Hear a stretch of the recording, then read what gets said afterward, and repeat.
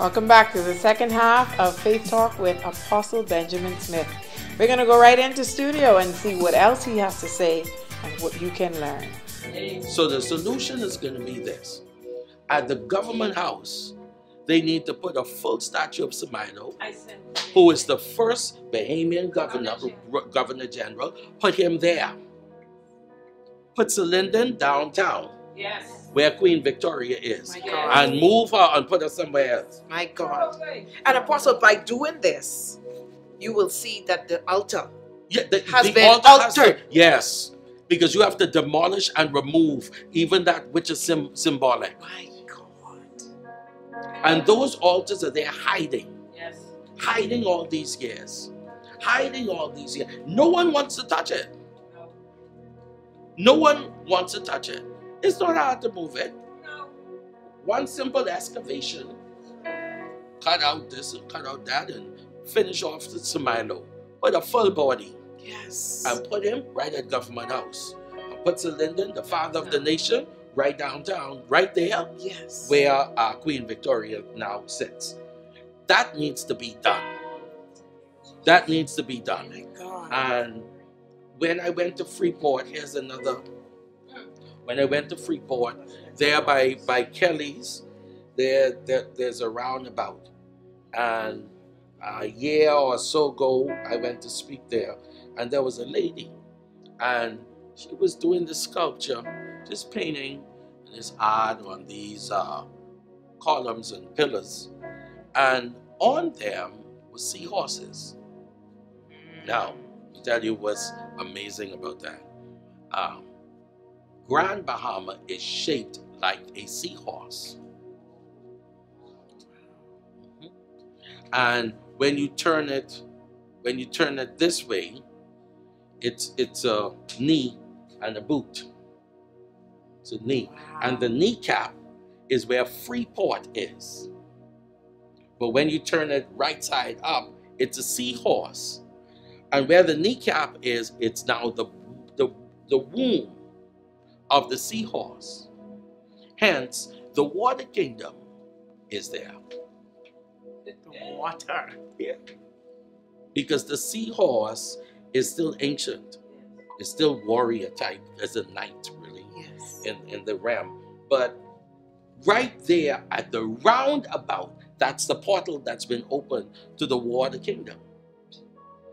I did a study, I spoke to uh, Commodore Tellis, Bethel the past Commodore, and he said, he said, Eleuthera happens to be the most overpopulated species of uh, seahorses in the world, and Eleuthera. Now, why would it come out of our waters? Again, we're surrounded by the water kingdom. Yes. So people do everything by the water. We love the sea. We love it. We understand. You go for recreation, but there's some people who go for other things. Yes. And there's a lot of dedications that happen there, a lot of rituals that are done there. Uh, hence, we have drownings. Yes. So if lives are being drowned, it means that the sea, uh, it was offered to the sea. That life was offered to the sea. And the exchange had to be power that came from the sea. So now watch what Jesus did. And let, let me go further to Genesis. The first kingdom God gave us dominion over was the fish of the sea. Yes. Then he said, and the birds of the air. Yes. The reason is because the birds came out of the water. So they're the two oldest kingdoms in the world. They were, they were here before all of us. Mm-hmm. The third would have been, of course, dealing with the earth itself with trees. So they've been here a long time. And these are the kingdoms that stay after we are gone. Very powerful. So Jesus, the first thing he did was walk on water. Wow, Wednesday. Walk on water. Yes. He walked on his word. But what it really was, he was taking dominion over the marine powers. Taking dominion. He was showing us this is what you do. Now, watch this. When did it happen? At the fourth watch of the night. So, prayer at that time also gives you dominion if you're fighting marine powers, then 3 o'clock to 6 a.m. is your time to come to, to, to go against them. Three to six. Yeah, because it was that's the fourth watch Yes. when Jesus walked on water. Very powerful. Because that's when he subjugated them. That's when he took dominion over them. And that, that's very powerful to me. So, in other words, when we align ourselves with his time, we're going to walk in light, power, and authority at that time. And remember, he came out of prayer and then demonstrated power. So, obviously, he was in the throne room first and the courtrooms before he could walk on water. So, the, to, to answer the prayer, like I said, and your, your question about altars and sacrifices, we have to raise up a stronger altar to deal with demonic altars. Listen, altars carry people's pictures, body parts, Yeah. hair. Altars carry many things jewelry, shoes, anything could be on an altar. And if someone wants to curse your life, they go to their altar. They go to their altar. Body parts, they, they, they, you know, the voodoo dolls and all of those things right there. But you can't just have the doll if it ain't on an altar somewhere. Because the ritual has to be carried out. And it cannot be effective without blood. And these these things are not taught, yet it's right under our eyes. That's, that, that, that was my point, Apostle. Yeah, plain truth in plain sight. Truth is often hidden in plain sight. It right, it is right under our nose and eyes. But because of religion, tradition, and cultures, we we we tend to turn a blind eye to it, or we really don't know. And so the Bible says we are not ignorant of Satan's devices. So it means we are ignorant of the devices because we don't know. And then it says, watch this right there. Then it says, lest at any time he takes advantage of us. So the ignorance of the oppressed is the strength of the oppressor. I always say that. The ignorance of the oppressed is the strength of the oppressor. So the enemy uses ignorance to keep people in bondage, keep them in the dark. You don't want them to know the truth. Uh, because the minute you begin to walk in revelation, you begin to walk in knowledge, you begin to understand some things, the more you advance in the realm of the spirit. Watch this. The higher your spiritual ranking becomes because you've now come into more knowledge, you've come into more understanding and to more revelation. So, what the enemy will do is keep people, just teach that. Stay teaching that. Yes. Yeah. Churches have and ministries across the globe have all plateaued. They're not going anywhere. Yes. And I went to I went to say that apostle because that's that's why nothing is moving. No. Do you think that governments do you see the day coming when governments would literally take good counsel from Hmm. people like you and many others that have this information and Uh, with the solution? I I believe that. yes. Um, but I believe it happens when we when we change the paradigm and when we change the conversation. Um, several years ago, for instance, like you know, the Lord said to me, "You cannot enter into a government system speaking church language." Daniel was schooled or trained in the language of the Chaldeans. He knew how to speak to Nebuchadnezzar. Uh, Moses grew up in the house of Pharaoh. So, as a prince of Egypt, also a prophet, he knew how to approach Pharaoh when it was time. yes. He knew the protocols. He didn't just, you know, show up there. I mean, we know he showed up with the long robe and the rod in his hand. But when they saw him coming, I, I believe he knew how to approach. They knew, is this? I wonder if. maybe he said some things still in, in Egyptian language to them. For them to give way to him coming before the Pharaoh. Very powerful. A lot of times you you have people like a Nathan who goes before David. Yes. But he had to put the language in such a way for the king to accept it. What has been happening is that the church will go to the government and speak in tongues. I didn't go to Lab Apostle, but No, that, that, that is- true. that is real. They won't go oh, God's Get this man out of here. Where is the security? Where the security? Who this is? Yes. Because- you are right. Because again, they probably think the people are fanatics, um, crazy. I tell you, all of them crazy. Oh. And so now, right away, you've closed the door because you've not you you you, you have not studied where you're going. Whenever we want to get into governmental systems, they all have a language. yes. It's in studying the language of the courts, of the system. So, for instance, we're just talking about this. You cannot speak battlefield language in a courtroom. So, you can't dress in your battle gear in a In the courtroom.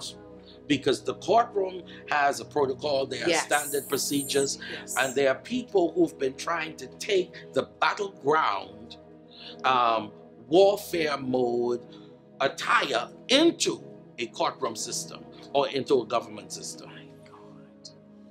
That is the answer. The answer, watch this. Now, case in point, we have pe- people like, uh, let me give you a scripture. John chapter 18, wasn't it?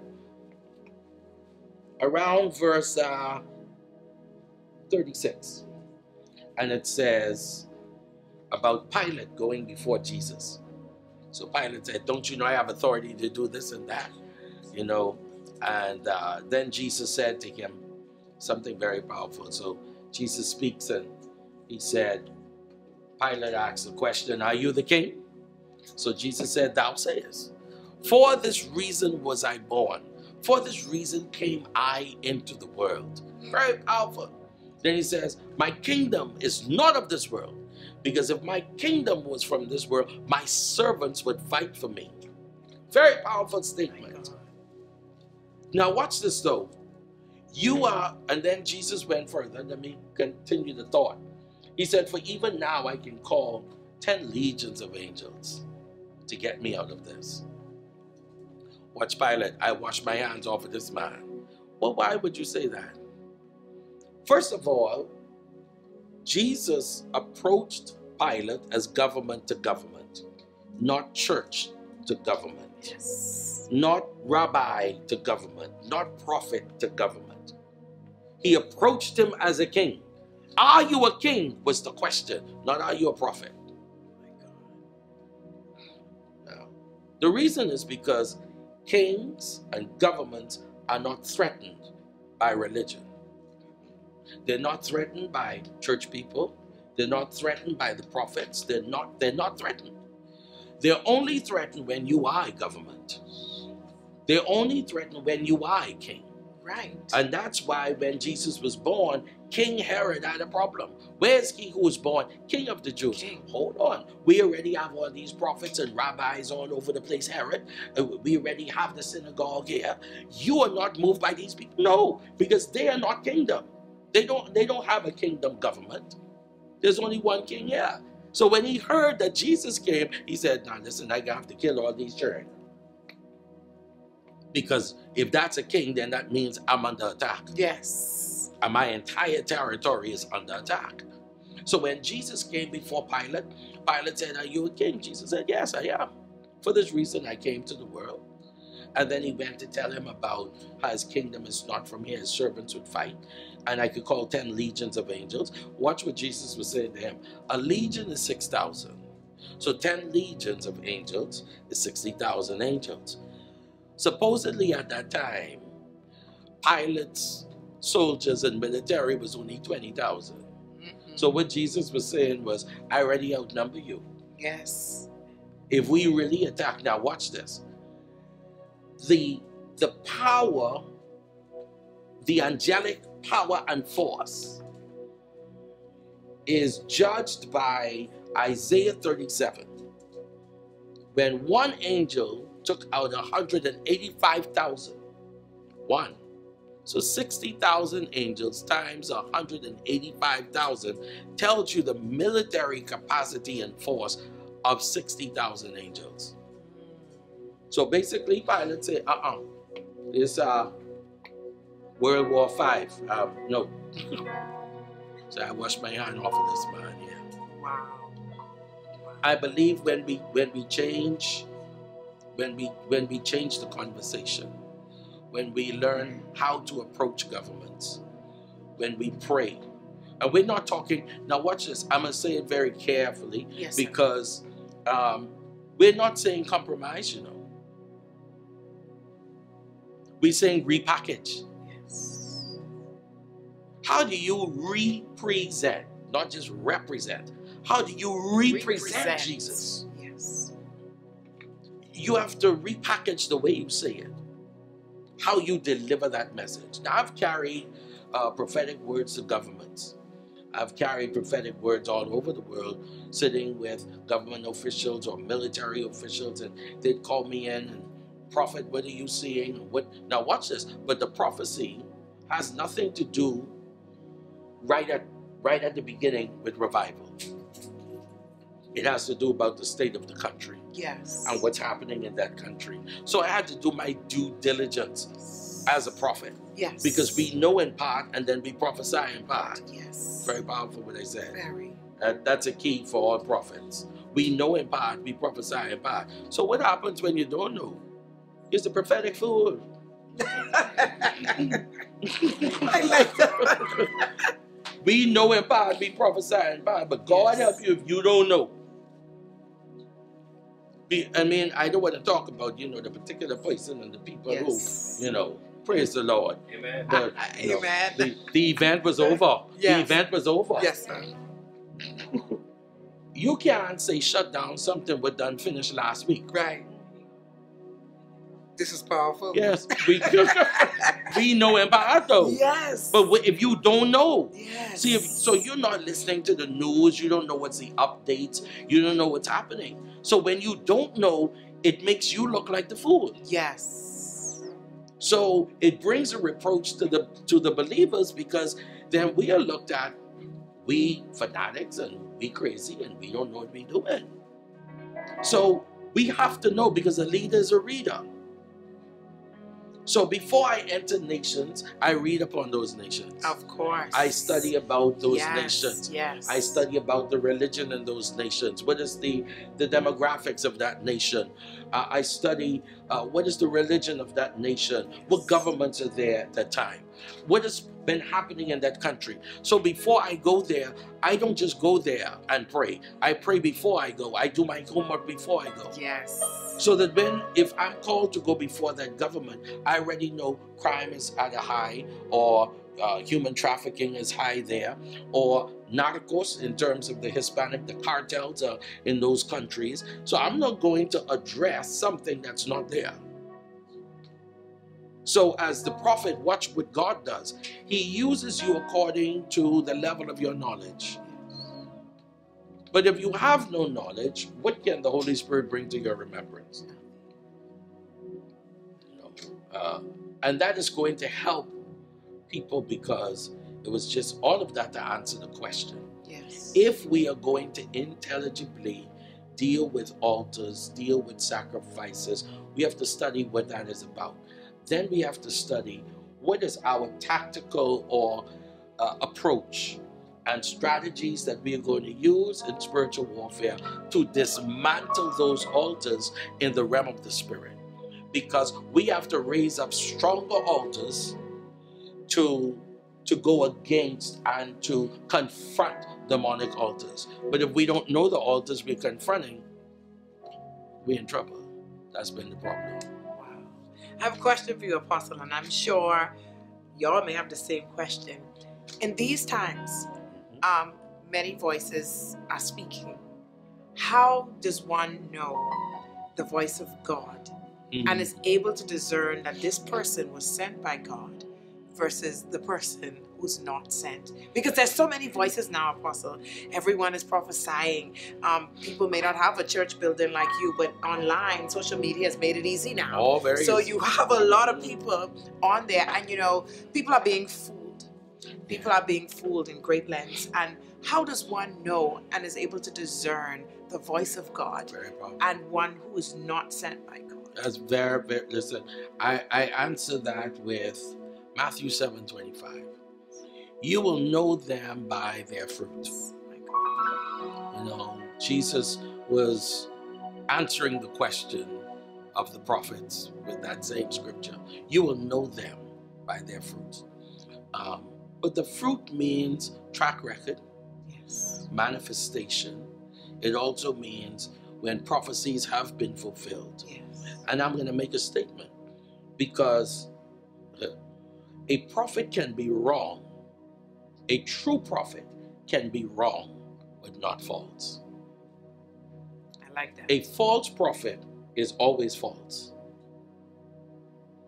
But a true prophet can be wrong and not false. Mm. And the reason is because God allows us in this dispensation to miss, Yes. to keep us humble, Yes. to keep us under His grace. Yes. He allows it. Yes. So you may give a word that is 95%. Uh, you may give a word that is 80% true and 20% off. You may give a word that doesn't happen for the next 10 years, but it happens in 10 years. Yes. Now, to those who heard it now, they believed it should have happened now. But when it happens 10 years down the road, you still have to come back to this point. But you've already judged the prophet based on the now and not the future. Very powerful. Yes. So, how do we know? Number one, who is a prophet? A prophet is a spokesman, a spokeslady, a spokesperson, we say, Yes. one who speaks on behalf of God. Yes. The prophet is an ambassador, a political or governmental appointee appointed by the king himself to represent his mind and his will to the people. It's a prophet. Uh, we get this word nabi, you know, that's a prophet, a spokesperson, um, you know, one who speaks on behalf of another. And that comes from nabal, which means to bubble forth and flow forth. Um, though, you know, to gush out of your belly, out of your spirit Yes. the will and the mind of God for the people of God. Uh, a prophet is sent to a people, sent with a message for a particular time. Uh, prophecies outlive the prophet because the prophecies was not for the prophet, it's for the people. Yes. And there, the, the prophet, the prophet is the gift to the body. The person is the gift. There are people who have a gift of prophecy, but they are not the gift of the prophet. The person, Elijah was the prophet. He's the gift of the prophet. He didn't shout, he didn't have a gift of prophecy. He was the, The gift. gift. Wow. and and that must be understood. So, for instance, the commissioner of the police is the gift at the time. The prime minister is the gift at that time. There's there's a person that steps into that office for that time. Yes. They are that gift for that time. Very powerful. So the, the, the prophet is the gift that is given. So when Jesus ascended on high, he gave gifts unto men. He took off all of his mantles and offices and he left them on the body because mantles don't go to heaven, they stay in the earth. So the person dies, but the mantle doesn't. It stays here to complete the, path, the, the task at hand. The assignment. Watch this. Your assignment does not end with you. It begins with you, but it doesn't end with you. Wow. Because one plants, one waters, and then God brings the increase. Very powerful. Very. Because your, your assignment, a true assignment from God, will outlive the person. When it's your assignment and God ain't give it, mm. it dies with you. That is deep. So this is why we we've not seen longevity in ministry because the person's purpose the person's purpose was their purpose not necessarily God's purpose because if it's God's purpose it's going to outlive you when you go Jesus's purpose is still being carried out Yes. that's how you know right now. Yes, that's how you know. So so this this is to to answer that question. There are those that have the spirit of, of prophecy, the gift of prophecy, and then the office of the prophet. The office of the prophet is the gift of the body that carries all of the vocal gifts, carries all of the gifts that reveal something. Yes. Um, they're always in that office. They never take this off. They are the gift. They were born with it. Um, and when it comes to the believer who has a gift of prophecy, it is only as needed. As needed. So when it is needed to bring encouragement, edification, exhortation, comfort, then that gift begins to flow in that believer. Um, these are things that need need to be told because they're those who prophesy, but they're not prophets. They're those who can cook, but they're not a gourmet chef. Correct. Something. there, there, there are those who may be, you know, uh, love policemen, but they're not police. And so this is where things happen.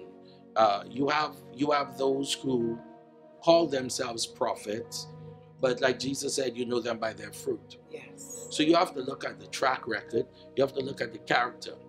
Um, Amos three and seven says, "Surely the Lord God will do nothing, but He revealed His secrets." Yes. And then it says, "To His servants." Yes. Then He says, "The prophets." So without true servanthood, a prophet is not really a prophet. He he revealed secrets, his secrets To his servant. to his servants. Then he says, The the prophets. What the church has done or religion has done is put the prophets before the servant. A true prophet does not mind serving because it starts with the heart. You are teaching. You're teaching, and you're answering many, many questions. And yeah, because you know you become curious of those things. Yeah, yeah. It it's it's it starts it starts with have question. uh, Go ahead, bring the question out. I have one question. I am very concerned about this generation and the way the things are going. My generation, particularly. Um, this generation is under so much attack in terms of mind battles, suicidal thoughts, anxiety, etc. Can you briefly talk about this generation and also what are your thoughts about pastors passing on the mantle to this generation? oh boy, praise him. that's lo- that's loaded, but that's good. Um, um, and I, I I enjoyed that question. Um, it's very pertinent for this hour. Um, first of all, the when it comes to mentorship, mentorship accelerates wisdom, and a mentor has to locate who is worthy to carry the crown. Yes. Worthy is the head that carries the crown. So there are those who cannot carry it. And I, I believe what has happened is that the group have zeal but no wisdom. And it's because they don't want to get under wisdom to find out what is the background? How did we get here? What's the history? Because I need a deeper appreciation of the journey. If I'm going to continue this journey, I have to know how you began. What has happened is that we have a generation to a certain extent who's not interested in where you be, when where you started from. They're not interested in the journey. They just let's just jump in the car. Let's just go. Yes. But do you? Uh, uh, huh? That's it. With No no license. license, Yes, come on, no insurance. no insurance, no license, oh my God. no death. Let's just go. And you can have the zeal without the wisdom. And and this is where this is where the problem has been. Because you have some older generations, you have two sides of this. Um, I'll put it this way.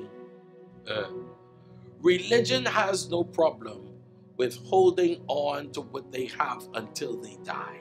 Yeah. Those that have relationship. Don't mind relinquishing what they have Yes. because it is the extension of the person. Birth out of relationship, birth out of covenant. That's why Jesus could relinquish because he was in covenant with them. He had a relationship. So he didn't mind passing it on because of the relationship. Part of the difficulty uh, is that sons have to locate true fathers. I believe where we have suffered, we, we have made mentors fathers. Listen how I said that. Paul said, I have 10,000 instructors, but few fathers. But the problem is when you make your instructor your father. That's where our problem is. Okay, so you go to school and you like your teacher, but your teacher can't be your mom. That's the truth. So what happens now when the student will make the teacher the mother? Now that can be problem when you get home. It can be problem because we we can dance when you tell me teacher say, and I is the mom and I is the pa paying the bill.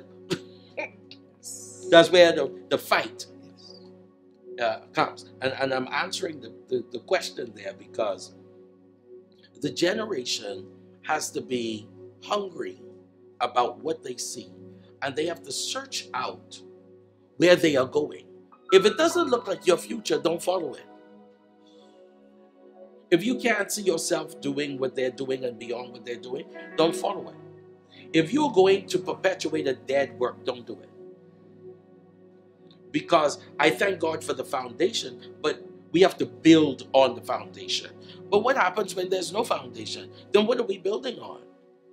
And so, a, when a history is not honored, a future cannot come into fruition. And there, there are many who, is, who have disrespected or dishonored the past. And that's why they cannot advance today. You know, Jesus said, I can do nothing except my Father. It's what I see my Father do. He always referenced back to the foundation. We have a present generation and the ones to, to come who are not referencing anyone. And that's where the problem is right now. You can't tell who is from who. Because everyone is renting a dad. Bus stop, believer. They go from one place to the next. No, that's the truth. This week is so and so. Next week is that one. They ain't like this one. They leave there. They offended on this one. Go down there.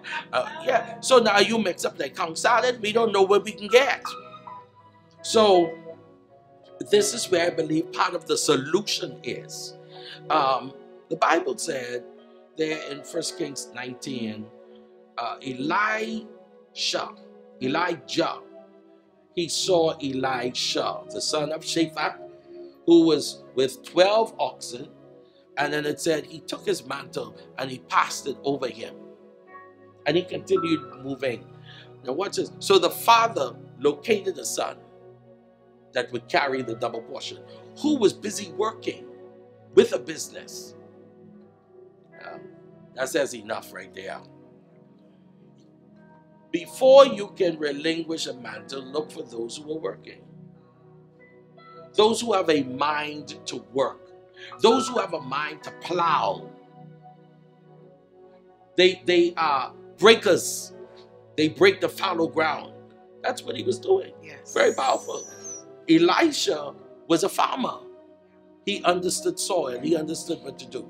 And I'm saying this uh, because Elijah found him. What about the physical son of Elijah? We don't know. And so, this is a season where two things have to happen. Fathers have to locate sons. Right. The, the, the problem has been those who call themselves fathers or mothers have not been fathered or mothered. So we've had dysfunctional families in the body. And and you only pass on, you only pass on what what your environment is or was. So so that's also been a problem. So you you know just to answer that question, um, this generation can make it if they would honor the past, find out the journey. Where are we coming from as a nation? 50 years ago, majority rule. What is that? You know, find out who was the father of the nation.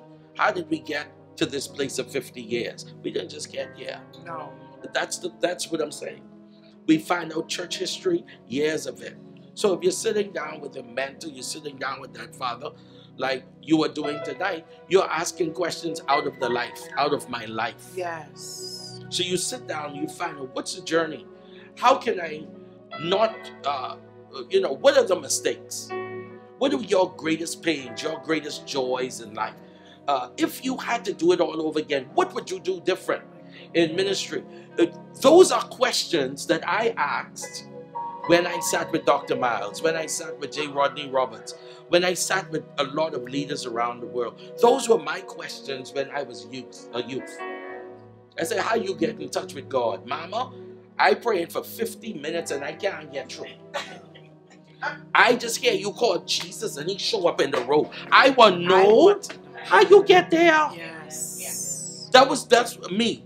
See, that's what I'm saying. So the this generation, uh, where I I'm giving the answer from where I was as a youth.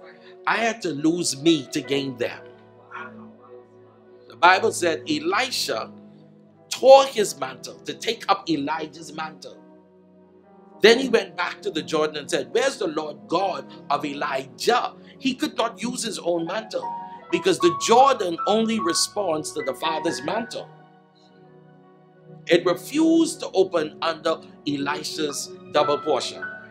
He had the double portion, but he had to rent his own to pick up the Father's mantle to go back across. And then the Bible said, when the sons of the prophet saw it, then they saw, then they said, Surely the spirit of Elijah rest upon Elisha. So, to answer the question, is that there has to be a hunger, there has to be an identification, there has to be an honor for the past and for the foundation if we are really going to move forward. Um, and then those who want to pass on the mantle have to locate those who are worthy to carry it. Some people are not dying because they have not found the head to carry it. And that's the truth. They have not found the head. You know, you know, here's what Jesus said foxes have their holes, birds have nests, but the Son of Man has nowhere to rest his head. You know what he was talking about? Not home, his mindset. Who can I trust with the king's mind? That's what he was saying. And it took three and a half years of studying and training in Kingdom University before he could relinquish to them that ministry. So, so uh, that that's just kind of to to answer. I I am afraid of two things. Um, where I see those who are too hasty, uh, who are not moving uh, in wisdom. I see those that are operating ahead of their time. And I'm concerned because what I see is pride without purpose, without wisdom. and knowledge can go to the head. Because you can get one touch of the anointing, but if character is not there and humility is not there, integrity is not there, uh, the same anointing can kill you and expose you. And that that is um, that is where I have been concerned really about uh, our youth that are on fire for God, but that's where I'm concerned. They're not asking the relevant questions, not willing to, you know, sit for a while and and study, be an understudy of where they're going. You know, lest we perpetuate um, religion. So this this I hope I answered the question. I think you did. Any uh, questions on Zoom before we? I got Aisha has a question. Canada. Amen, Apostle. I am just honored to be in your presence. Can everybody hear me? Yes. Yes, I'm just honored to be in your presence and to have this opportunity just to suck up this knowledge and all of this information that you are giving. Um, my question is, um, the Bible and the scripture said that we were made in the image of God in His image and His likeness. And um, now in present time, we have a lot of issues where people are really, really confused about their identity and who I am. Mm. Right? And if I am this or that, or how do I identify? That's a big thing. Like I identify as this, and being where I am, that's like a major thing. My question is, I know when we were younger, you know, we, even if we didn't want to go to church, they grab us and they say, you, you going to church. You ain't even had no choice but to go to church. Sunday school, you had all of those things. It might not have been perfect, but it directed us in a way that we should go, right? Nowadays, um, children have the they have the ability to say, uh, I don't want to go, or you know, I'm not going. And um, I feel like it, it, it kind of, and then we have children having children, and then the grandparents are now the the, the, the younger version, so they grandmas, and not grandmas who are setting examples, and all that. And here, here is the confusion of, of, of who am I? Am I a she, he, it, them, or a pronoun, or whatever? And it, it's so scary because Proud it's like pronoun. the further we go, the further we go, the more it is oh, confused. Oh well. The more, We got you. We're listening.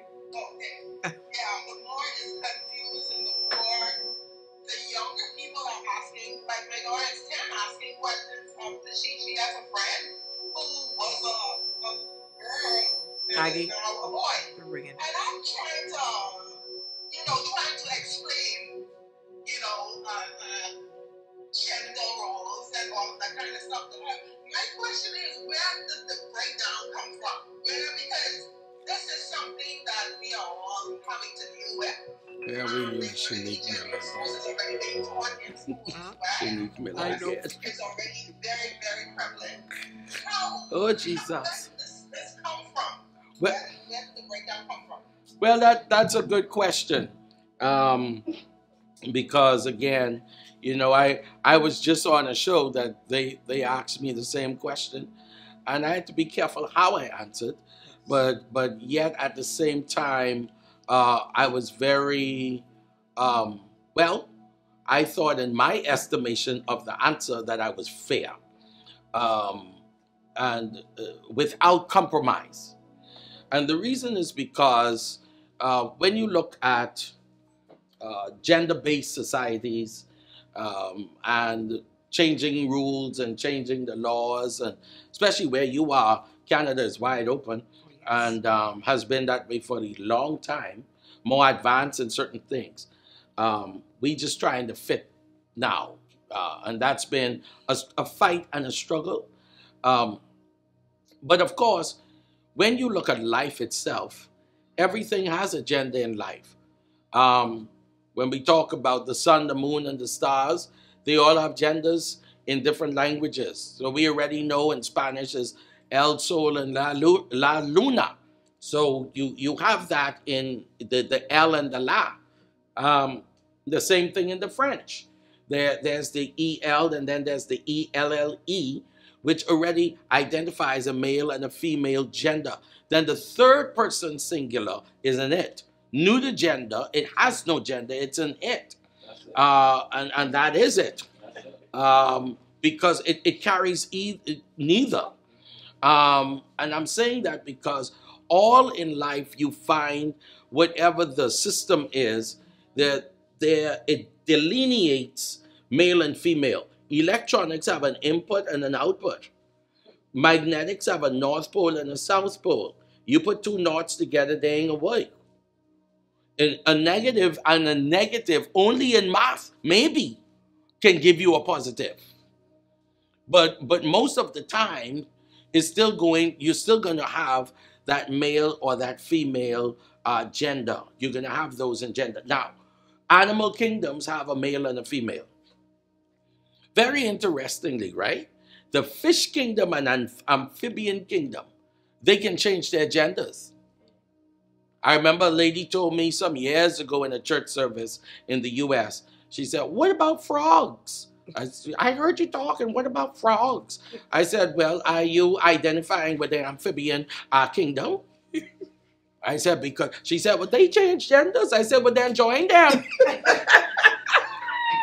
I said, Because how could you, how could you demote yourself from made in God's class and image to a frog class? I said, You know what happened to frogs? Don't let the Chinese find you. You're finished. you end up as frog legs if you would. I say, come on. So you be you end up spring chicken on somebody's plate. That's right. I said, because that's what you're saying. No, but they changed their genders. I said, but that's them. In in their let me watch this. I just um heard this the other day uh with the eel. The eel begins uh, as a male. Now, the reason why it changes the gender is because the population has to survive. Oh boy. In other words, there are too many males there. So, in order for the population to increase, one of them had to become the female. So, it was for survival that it took place. Very powerful. That's very powerful. Very powerful. Um, now, we can learn something from from the from the different kingdoms in terms of you know genders. Now, I think it has to be taught because this was the question that came to me, and here was my answer, and I'm going to give the answer the same way. In the Catholic school systems, Catholic, Baptist, Anglican school systems, Christian school systems, we say no to teaching it. I'm pretty sure they won't. We won't do it because we are only perpetuating the image, the likeness of God. Yes. When we begin to talk about the transgender, we're talking about the abomination. So, so in other words, in in our belief as believers, we don't teach it in terms of the lifestyle being accepted. Anybody, you got that? Now, as an educator in the school system, they could teach in terms of information, but not lifestyle. Because these things are now coming to us. So children need to know what is what, what is yes, what is no, what is it. They need to know by information, not necessarily lifestyle. Because the lifestyle is where it becomes the abomination, is where it becomes the perversion of the real deal. You got that? Uh, and see, and that's why I said it has to be taught. It still has to be taught. There are those who are saying, don't even teach it. But if you don't teach it, you're still around it anyway. And, and your children are still going to, to come into contact with people Yes. who in the school system, so to speak, or in their neighborhood, who might be a dry queen. Watch this. Two years ago, right? you were like this. Two years ago, in the newspaper right here in the Bahamas, there's something called a deed poll.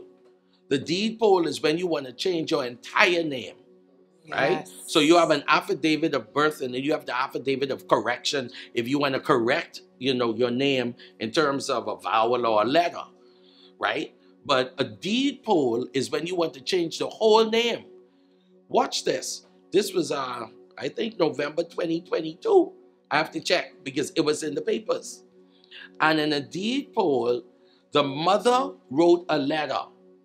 And the letter said, My daughter Amanda, um, uh, I want to change her name from Amanda to Ezekiel. That in the paper. I've seen that before. And she said, You have 30 days to reply, or the chief to, to the chief passport officer. So if you don't contest for 30 days, Amanda becomes Ezekiel.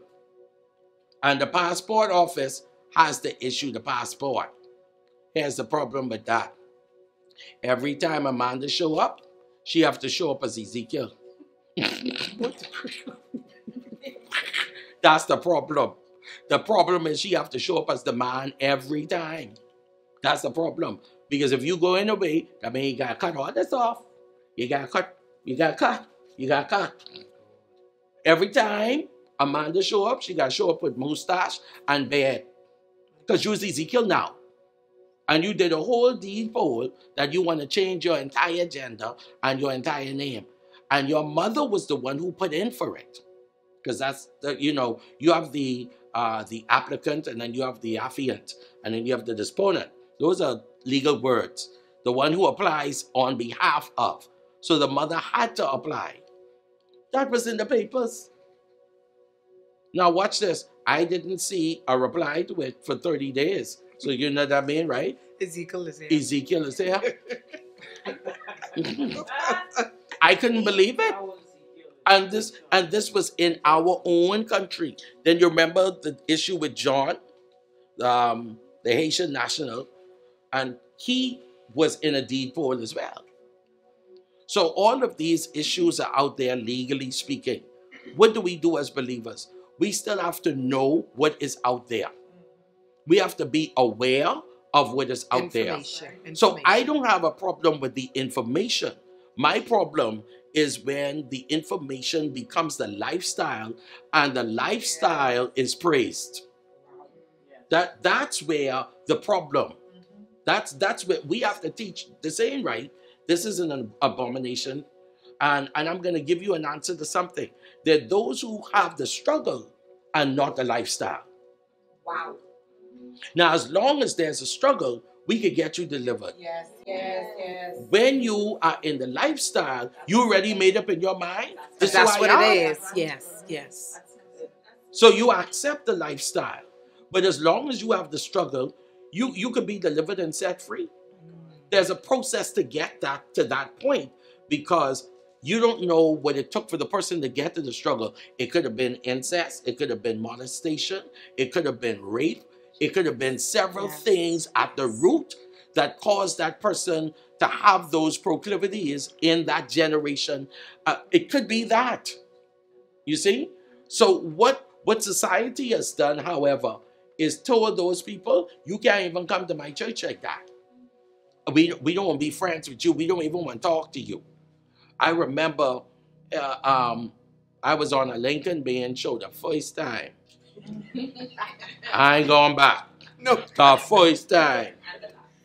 Yeah, I, I, I said, now this this ain't good, man. I, this the first show, man. This- I say this the first show. The first show I ever did with him, he had Tori to call. Tori, Tori, Toriano, well, Tor- Toriano. And Tori called, hello, this is Tori. Can I come to your church in my high heel shoes? Can I put my hat on my head, my fascinator? Can I wear on? you? I say, Lincoln? Pastor?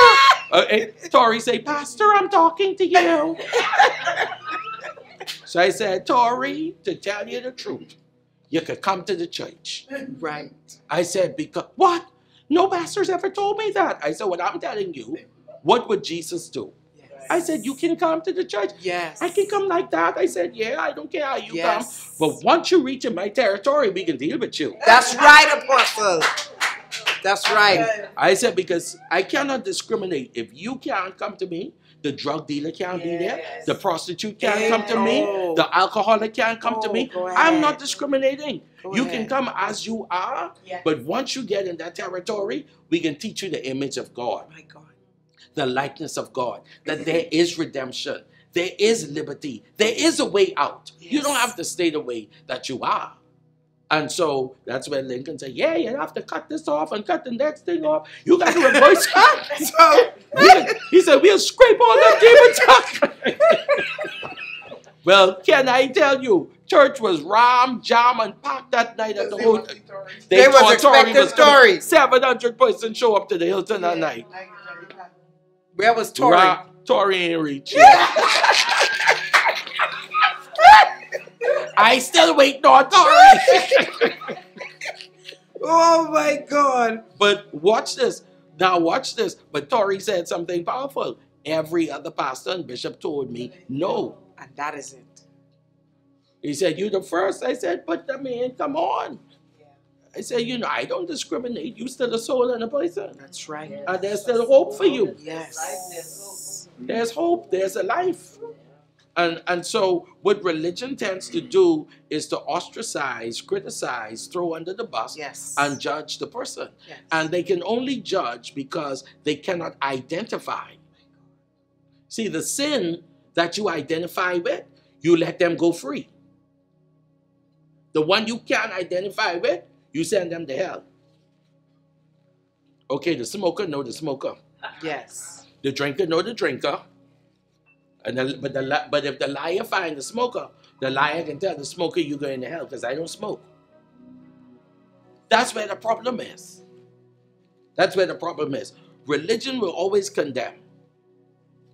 But a relationship with the Lord will bring you into a place where you could be free, into an environment where there's healing, where there's deliverance. So, so these issues exist in the world. We should be aware. We should be aware of the strong men that are attached to them. So this is where the church has to teach. This is going on, but this is the strong man behind that. This is how we pray about that issue. What about our children interacting with those who are out there? All you have to do is tell them Jesus loves you. Teach the children how to love, basically. Well, I don't love Jesus. I don't think he's real. You don't have to think he's real. Love covers a multitude of sins. Because you still have to walk in a, you know, not non-judgmental way. Uh, and love doesn't judge you. Love heals you. Love restores you. And, and I think that's the answer. So, so like you said, identity, it goes back to the root. We have to teach the children where they came from. What is the family's background? You start with self identity. Then you give them their identity in Christ. Or you could start with the identity of God and then move to the to the identity of your bloodline. Certain things and you know that are in your bloodline. And how to combat that how to come against that. But that's my answer. That's that's my answer. Amen. So we're almost running. We're just about yes. I have to wrap. Apostle, I can talk to you all.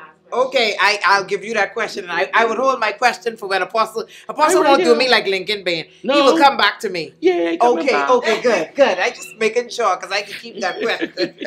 No, you can still give it. Okay, go host. This was the first thing that you talked about, but I wanted to be very clear on it. You talked about the courtrooms, going in the courtrooms before going on the battlefield Oh, when you're dealing with prayer.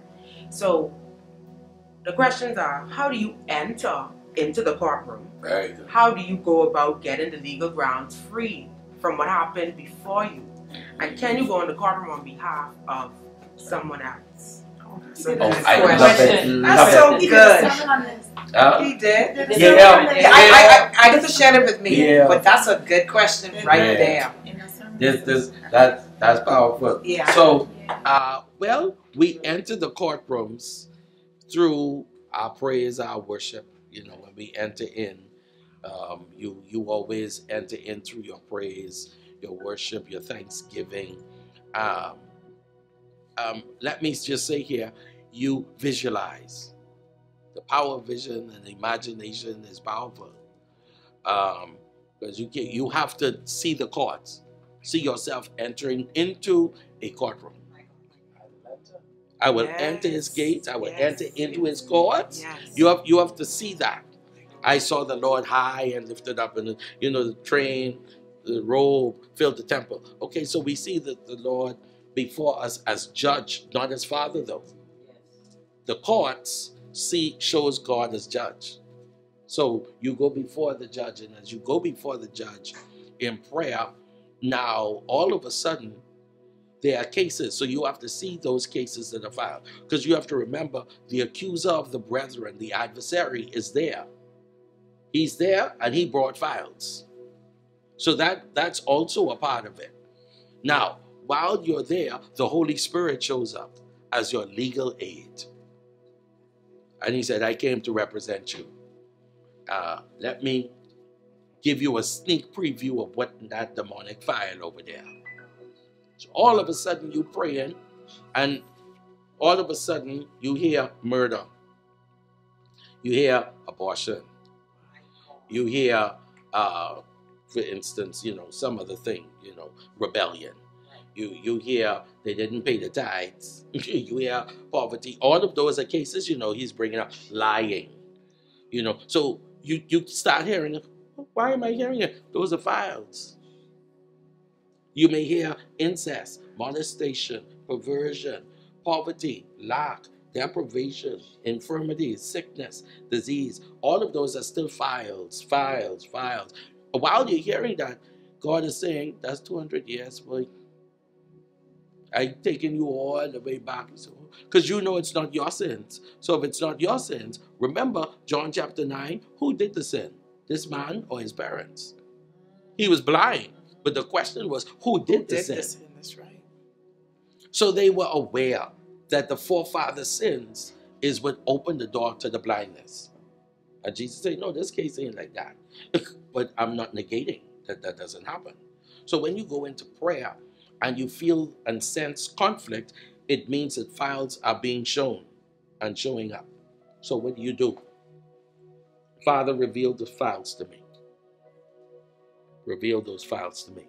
And then the Holy Spirit starts bringing it to your remembrance or you know it might be a scene of something something happens. So what do i do? Now i know first john 9 now kicks in. If we confess our sins and the sins of the forefathers he's faithful and just. So father you know on behalf of myself and my family you know i repent of unforgiveness hurt bitterness malice anger i repent for being jealous of that person have an offense against this one. I said some words I should never said. Lord, forgive me for that. Forgive my forefathers for envy and wrath and, and, you know and incest and molestation and uh, fornication and adultery. Lord, forgive them. Then, Father, they didn't know what they was doing. I call upon the witness of the blood of Jesus to the stand. We call the, the witness of the blood. You're faithful and just to forgive and to cleanse. So let the blood of Jesus revoke and remove sins, iniquities, and transgressions of the forefathers. Let the legal rights be removed. Legal grounds that the enemy has against my life and my generation, the third, the fourth generation, or you could say 10 generations on my father's side, 10 generations on my mother's side, in the name of Jesus. Let it be revoked and let it be revo- removed by the blood of Jesus. Then when you pray, all of a sudden now, you'll sense it. You'll know when it's done. You know how you know that uh, the prayer is done or that courtroom. Remember, the court's in session, the books are open. That's part of the books. Yes. So now you say, Lord, whatever is in the destiny, the books of destiny about my life, let that prophecy, what is written within your books about my life, my destiny, and my purpose for my family, etc., let that come into being. Let it be established. Let it be executed. Let it be carried out. And when you leave the prayer time, you know you got the victory. Because all of a sudden, there's joy that comes in, or there's a peace that comes in, then you know there's a verdict now. So you walk out, I'm free from this. And then now, after that prayer, now you go into the battlefield. And you see, now you spirit of infirmity, you can't come against us no more. You spirit of perversion that had my generation for the last 100 years, you can't touch us no more. I have a warrant for your arrest. Because the legal grounds have been removed and your rights that you've been using, you can't use them any longer. So I bind that spirit in the name of Jesus. And I command you to loose my family members, loose my mind, loose me. Let me go free in the name of Jesus. I have a warrant for your arrest and I cast you out in the name of Jesus.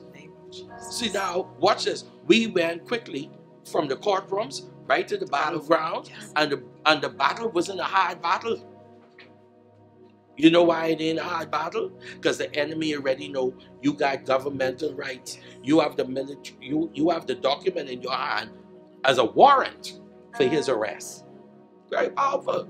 It's it, warfare should never take a long time. Victory in the battle is when you know you already won from the time you started. And you know you already won because you won it in the courtrooms. Because the king already gave you the victory in advance. So that's the that's that's the answer to your question right there. Now watch this. Every time you go into prayer and you feel and sense a conflict, that means he entered and he was doing a search when you left. So as soon as you left, he say, Man, shucks. She done clear a hundred years wait. Okay, now let me go by and let me check the mother line again. Check the father line again. Let me see where her heart is at this time. He's always looking for a reason Yes. to deny us of what rightfully belongs to us.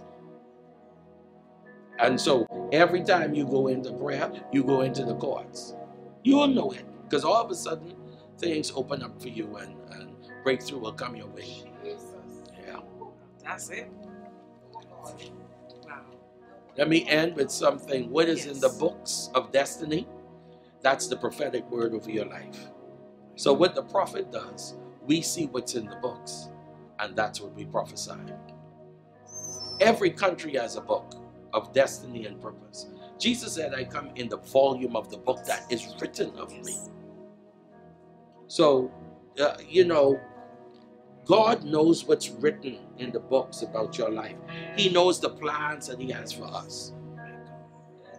Plans to prosper us, to give us a hope, and to give us a future. Yes. So, whatever is written within the books of destiny and purpose for our lives, it will not be hindered, it will not be limited, it will not be restricted, it will not be delayed.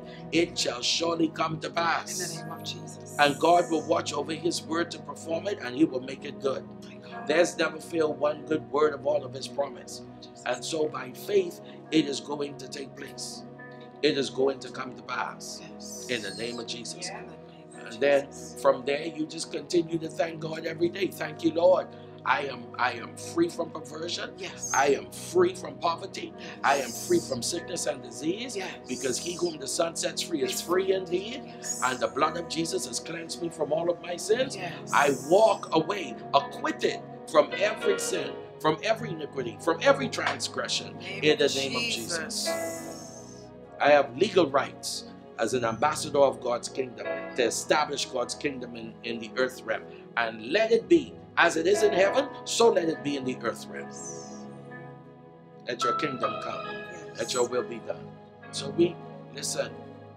Uh, as I bring this here, you know, the, the days and the months ahead uh, and the years ahead, we are in the jubilee of all jubilees. So you get ready for the release. Whatever has been tied up, whatever's been restricted, has to be released. Hallelujah. Whoever you, owes you has to pay you back Yes. because we're in the season of the payback. We're in the season to get your land back, get your inheritance back, Yes. get your houses back. In the name of This is your season of multiple streams of income. Yes. This is your time to take ownership and to be possessors of houses and land, to walk in ownership and dominion, and to walk into your promised land. Your wilderness season is over. Yes. In the name of Jesus. Name Your dry Jesus. season is over in the name of Jesus. Name You are now in a place where your faith will produce victory that overcomes the world. Yes. You shall overcome. You shall be more than a conqueror in this move in the name of Jesus. You shall be the head and not the tail, above only and not beneath in the name of Jesus. And no weapon formed against you will be able to prosper. Every tongue that has risen up against you in judgment, you shall condemn it. Yes. You shall cancel word curses against your life. We cancel in the name of Jesus every demonic sentence or satanic prophecy that has been spoken over your life, any clinical prophecy that has been spoken over your life. We cancel it in the name of Jesus. And we decree and declare that the heavens are open and the rest of your life will be the best of your life. You will live a long life.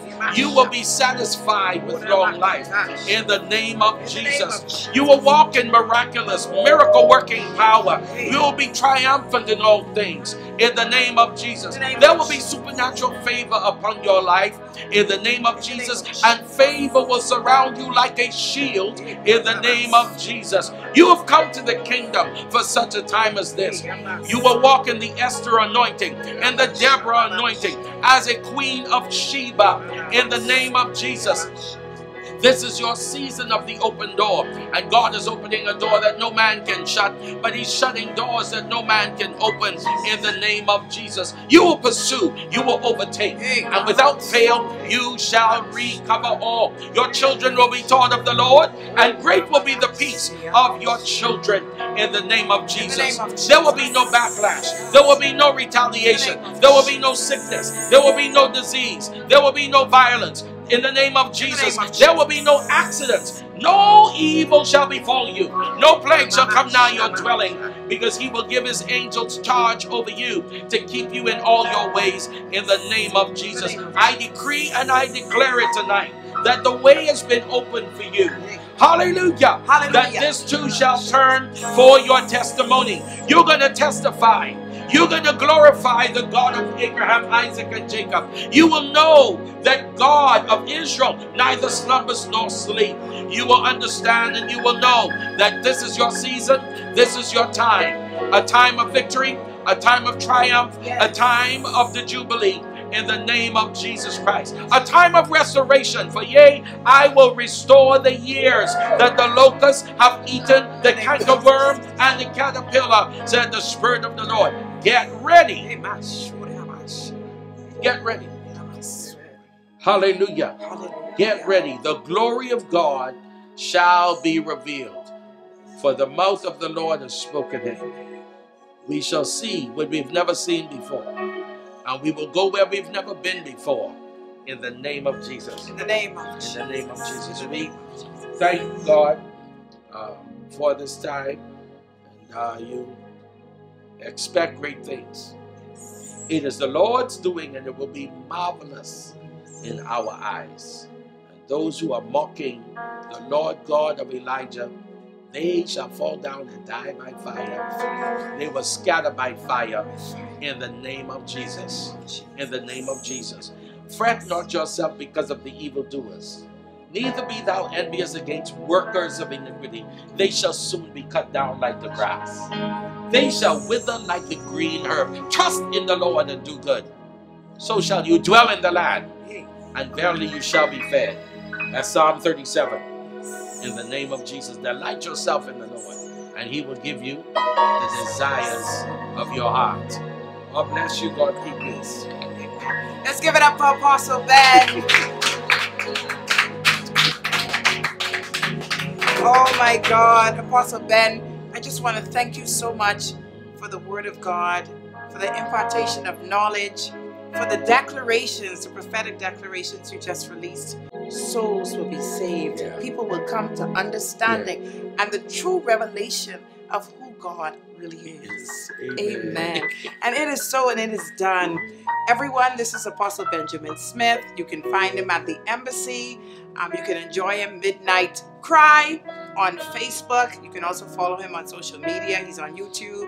He's on Facebook. Where else, Christoph? Is he on Instagram? He's live on He's on Instagram as well. Trust me, I went there and I had a glorious time in the Lord, the, especially with the worship. Oh, Uh, we could go all night because Apostle Ben he speaks many languages. We didn't get there.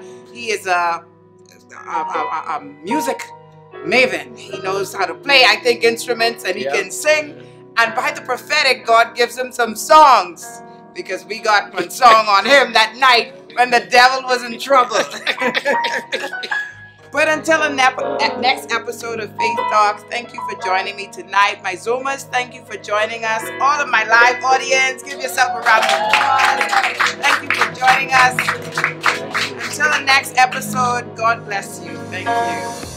It is our prayer that you are blessed by this episode. Be sure to like, comment, subscribe, and click the bell to receive notifications of new uploads. God bless. Do you have a life story to share that you know only God could have brought you out? One that can change someone's life for the better. Become a guest on Faith Talk by emailing faithtalklive7 at gmail.com or send a direct message on Instagram at faith underscore talk underscore. We look forward to hearing from you.